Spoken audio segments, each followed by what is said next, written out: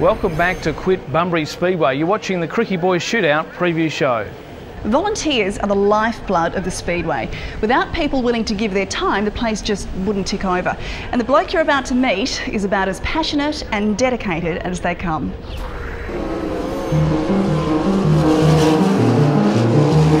My, my wife said to me when I turned 40, she says, You're getting too old for it. Time to give it away.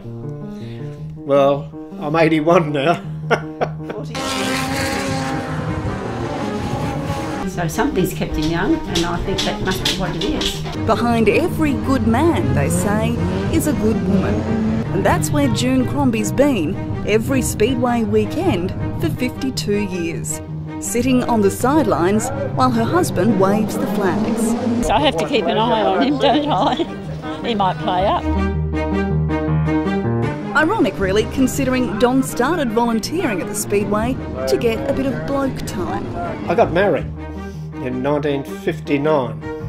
And I thought, now hang on, I'm not going to spend all my weekends at home. I found out later that, or not too long after I'd started, my wife was a bigger petrol head than I was. I used to go to Speedway in Perth, Claremont before he before I started going out with him. She watches, I play. Don's rookie years as a flag waver were spent at the Manji Go Karts before he graduated to the big league. Then, before he knew it, he'd clocked up half a century and a Lifetime Achievement Award from the Bunbury Car Club. Oh, I've still got another 20 years to go, come on. After 52 years at the Speedway, there's not much he hasn't seen. Over here is where the sprint car hit the wall and took out the lights in front of me, and I just stood there like a stale bottle of beer. And not much he doesn't know. Most people know what that flag is. I don't, so. It's to start with. Okay, so It's the first, first flag you use Yep. your starting. Yep. White flag is your last lap flag. The red flag is stop immediately with safety. And your naughty boy flag. When they've done something wrong, they get Yes. the black flag. Now checkered flag. The ones that all the drivers want to see. Yes, this is the one they all want to carry at the end of the race.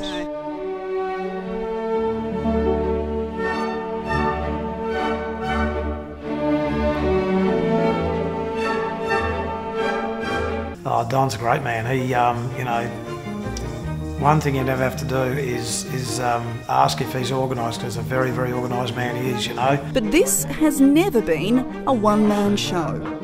Everything's got to be perfect. The hems have got to be level. Everything's got to be right. He's very fussy. I iron my own duds, but she washes them.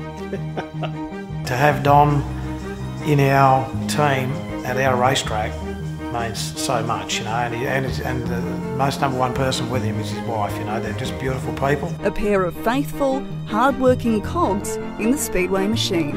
A club that does not have volunteers, you don't have a club. All you've got is drivers. We love having them there, and for many more years. So um, he's not going to get to rest either. So he's got to be there. What a pair of old petrol heads, but they're such a lovely couple, aren't they? They are, you know, it's people like Don and June that really are the heart and soul of the Speedway. Definitely. Now, over the years, the Krikke Boys Shootout has developed into a real blue ribbon event, attracting top drivers here and in the US. But at its heart, it's about a love of family and a celebration of two young lives. So the Krikke family have always been keen to support and encourage teams who use their racing to promote important causes. And for the Harding Racing Team, who have a partnership with suicide prevention agency One Life, a near disaster at Bunbury Speedway last weekend was a chance to demonstrate exactly what they stand for. Imagine being a sprint car driver. The speed, the fans, the fun, the checkered flag. It often looks like a one man glory show, but it's when things go wrong that you start to appreciate just how much of a team sport this really is. Daniel Harding found out this week when he bent his car trying to qualify for the World Series Sprint Car A-Main. Now, a mad rush starts. The pit crew are in a frantic race against the clock. They have about 20 minutes to rebuild the car. The car chassis is damaged and has to be welded, and the entire front axle assembly has to be replaced. Other sprint cars are already being let out onto the track. It's now or never. Daniel's ordered back in the car, even though it's still up on jacks and doesn't have any front wheels. All the other sprint cars are out on the track and ready to start. They make it and just in time. Daniel went on to qualify for the A main thanks to the support, hard work, and commitment of his crew.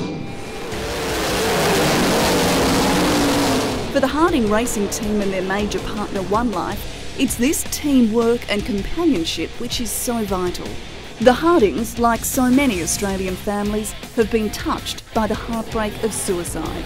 I've uh, had close friends, people that I've looked up to and people who have looked after me who have taken their own lives over the last sort of between five to seven years. There's always someone that can listen, uh, there's someone that can you, you can talk to, um, and there's no need to go down that road. That's what this is about, there is people to help you through it.